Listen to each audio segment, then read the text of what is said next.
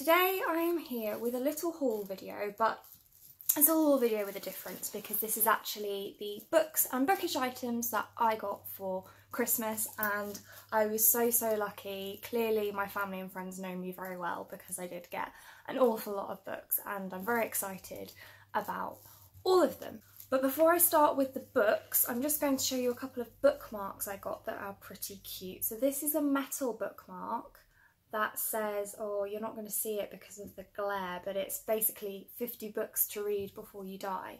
And I've read through this list and I've read embarrassingly few of them. But to be honest, I'm not overly interested in most of the ones on this list, so not too bothered about that.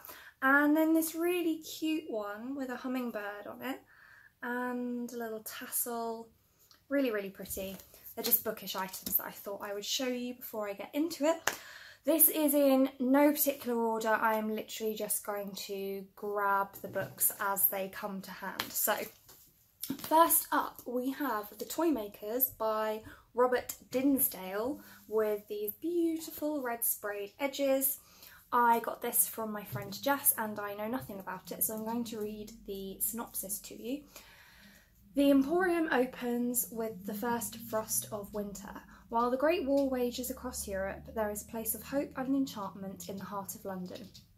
The Emporium sells toys that capture the imagination of children and adults alike.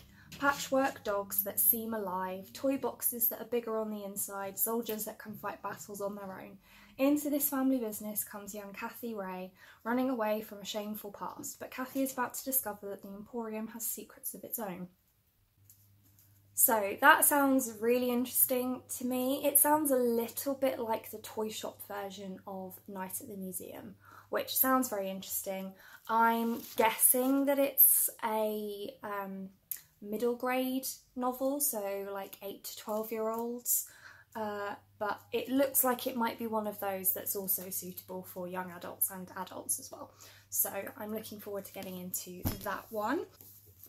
Next up, we have The Long Walk by Stephen King while he was writing as Richard Bachman. This book is a little bit difficult to get hold of, I believe. My mum said that she had a real trouble finding a copy of it, um, but she did manage to get one secondhand for me, so I'm super pleased about that because it is pretty high on my list of books that I want to read. Uh, this one is a dystopian novel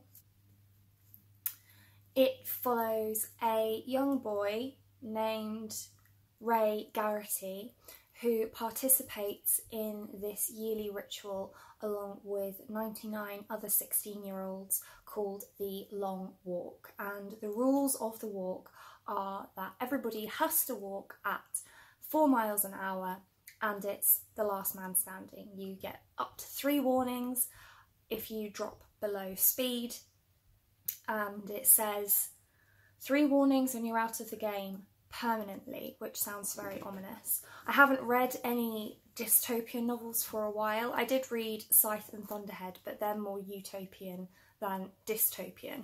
Usually I don't tend to like dystopian, well I do, I like dystopian novels, but I don't like the endings of dystopian novels, but this one really captured my attention and I'm really looking forward to getting to it.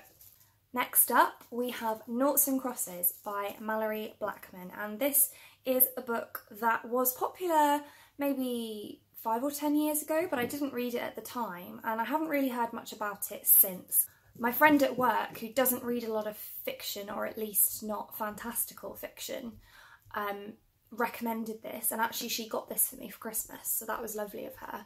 And having read the synopsis it sounds a little bit like a Romeo and Juliet retelling um, but I don't know much more about it than that. And I don't really want to because my colleague also spoiled book three in this series for me. So I'm kind of hoping that I am still going to enjoy this, but I really have a hard time reading books when I know something that's going to happen, like specific um, within the plot. But yeah, I'm looking forward to getting into this one.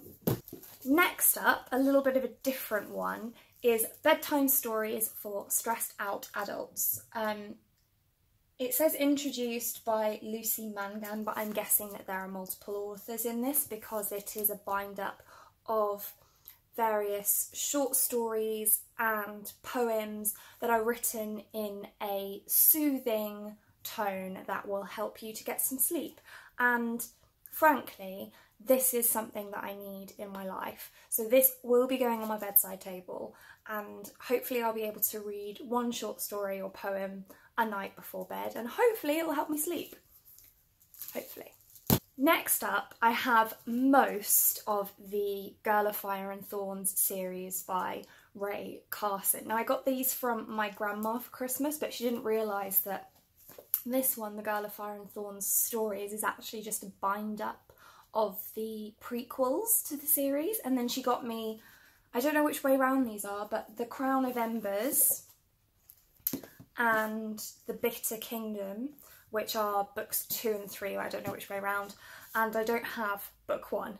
Um, but the, again, this is a series that has been on my list of things to read for quite a while, so I'm looking forward to getting into this series, and I will inevitably have to pick up the first book um, to start me off. But I don't know whether to read the prequel short stories first or jump right into book one. Quite often, I think that these are released afterwards. Um, so I'm not sure about that. If you have any opinions on that one, do let me know. Next up is another series, which is The Queen of the Tearling by Erika Johansen. So we have The Queen of the Tearling, which I know is book one, and then I'm not sure which way around the other two go, but it's the invasion of the Tearling and the fate of the Tearling. And again, this is another series that has been on my list of things to read for quite a while. This book follows a character named Kelsea Glynn who has returned to the place of her birth to take over the queendom. And I don't really know too much more about it than that. I believe that it's young adult and it's fantasy, so it's right up my street. I heard about this one, I remember, from Regan from the Channel Peruse Project, and I generally tend to have similar reading tastes to her, so that's all I really need to know, to be honest. The next one is a bit of a different one again, and it's called Cat Stories. It doesn't have an author because I think it's another one where there's multiple authors, because this is a bind up of various short stories about cats. And, well, need I say more? I like cats. That's it. And finally, I have the beautiful illustrated edition of Fantastic Beasts and Where to Find Them, illustrated by Olivia Lomenech Gill.